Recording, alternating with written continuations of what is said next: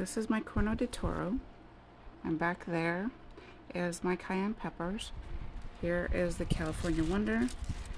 And another one back there is a California Wonder.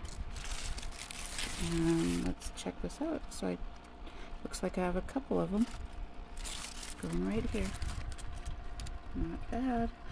So there was so many flowers, as you can see, growing on these plants that I have not been quite able to pollinate them or reach them. And I would say this is definitely a flower apocalypse. Okay, let's check this out.